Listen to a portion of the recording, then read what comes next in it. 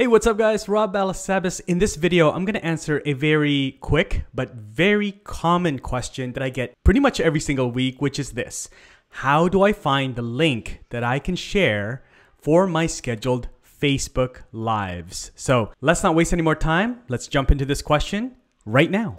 All right, so you guys are looking at the TubeBuddy Facebook page. On the left-hand side, you'll see the Live tab. And you'll see here that I have a scheduled live stream called The Women of YouTube, co-hosted with Trina Little, with special guests Catherine Manning, Diana Gladney, Meredith Marsh, Sally Barclay, and also Desiree Martinez. Now you'll see in the address bar, it says facebook.com forward slash TubeBuddy forward slash live underscore videos. If you add forward slash live underscore videos to your Facebook page URL, then it takes them to your scheduled upcoming live streams. So if you want a quick link to share, maybe in your email signature or on your YouTube channel or somewhere else on your profile on other platforms that easily takes them to your scheduled live streams, then you can use that link. But now let's just say you have multiple scheduled Facebook Lives and you want to send them to a specific live stream. Then this is what you do. You click into the live stream. So this is what I have right now. I'll click on